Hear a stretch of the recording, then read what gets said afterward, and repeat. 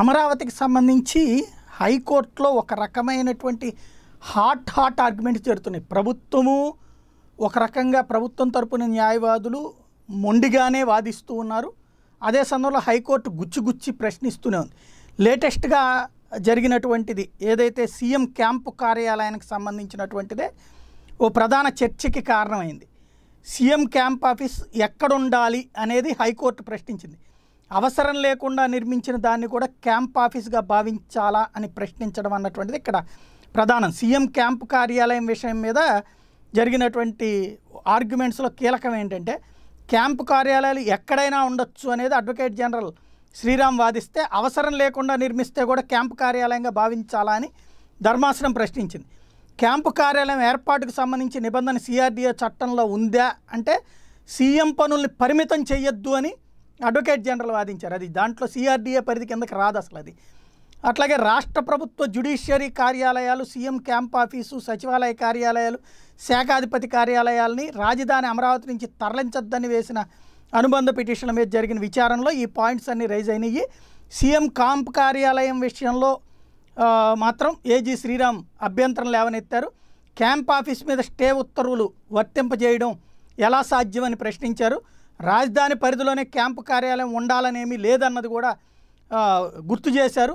CM Nellore లేదా తిరుపతిలో కార్యాలయం ఏర్పాటు చేసుకుని అక్కడికి వెళ్ళాలనుకుంటే వెళ్ళొచ్చు అన్నది గుర్తు చేశారు. పాలనా వికేంద్రీకరణ చట్ట నిబంధనల ప్రకారం సీఎం క్యాంప్ ఆఫీస్ తరలింపు మీద నిషేధం లేదు అని గుర్తు చేశారు. ఈ సందర్భంగా అదేవిధంగా ఘాటుగానే అట్టించి కూడా ప్రశ్నలు హైకోర్టు అడిగింది.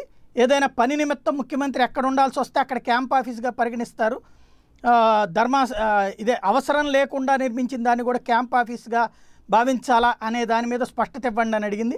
దానికి స్పందిస్తా కేసుల విచారణ నిమిత్తం పదిహేను రోజులు ఢిల్లీలో తాను ఉండాల్సి వస్తే అక్కడ ఉండకూడదని నిలవరించడం సరికాదని తేల్చి చెప్పారు. ఢిల్లీలో ఏపీ భవన్లో క్యాంప్ ఆఫీస్ ఉండగా మరొకటి నిర్మిస్తామండి ఎంతవరకు సబబని కోర్టు ప్రశ్నిస్తే హైకోర్టు ఇక్కడికి రాకముందు సీఎం క్యాంప్ ఆఫీస్ ఇక్కడ ఉందని ఏజీ గుర్తు చేశారు. రాయలసీమ ఎత్తిపోతల పనుల పరిశీలనకు సీఎం అక్కడికి వెళ్ళి పదిహేను రోజులు ఉండొచ్చన్నారు. సీఎం సర్క్యూట్ హౌస్లోనే ఉండాలనేలా పిటిషనర్ అడుగుతున్నారు. విజయవాడలోని సీఎం క్యాంప్ రాజధాని ప్రాంతంలో లేదు. అలాగే రాష్ట్రంలో మరెక్కడా సీఎం క్యాంప్ ఆఫీస్ ఉండకూడదనేలా పిటిషనర్లు కోరుతున్నారు. పాలనా వికేంద్రీకరణ చట్టం కంటే ముందు ప్రస్తుతం ఉన్న సీఎం ఆఫీస్ కాకుండా రాష్ట్రంలో ఇంకేమైనా క్యాంపు కార్యాలయాలు ఉన్నాయా అంటే గతంలో చంద్రబాబు గారికి సొంత గ్రామంతో పాటుగా హైదరాబాద్లో కూడా ఉన్నాయి అన్నటువంటి గుర్తు చేసుకొచ్చారు. ఎక్కడెక్కడ ఉన్నాయో అవేంటో మాకు ఇవ్వండి అంటే కౌంటర్ రెండు రోజుల్లో వేస్తామని చెప్పి చెప్పడం జరిగింది. దీని మీద శుక్రవారానికి విచారణ జరిగి వాయిదా పడింది. ఇక్కడ ప్రధానమైతే ప్రస్తుతం జరుగుతున్నటువంటి వ్యవహారాలన్నీ కూడా ఓ రకంగా మొండిగానే జరుగుతున్నట్టు కనబడుతుంది. ఘాటు ఘాటుగానే ప్రశ్నలు సమాధానాలు జరుగుతున్నాయి. ప్రభుత్వం కూడా సీరియస్గా వెళ్తున్నటువంటి నేపథ్యం.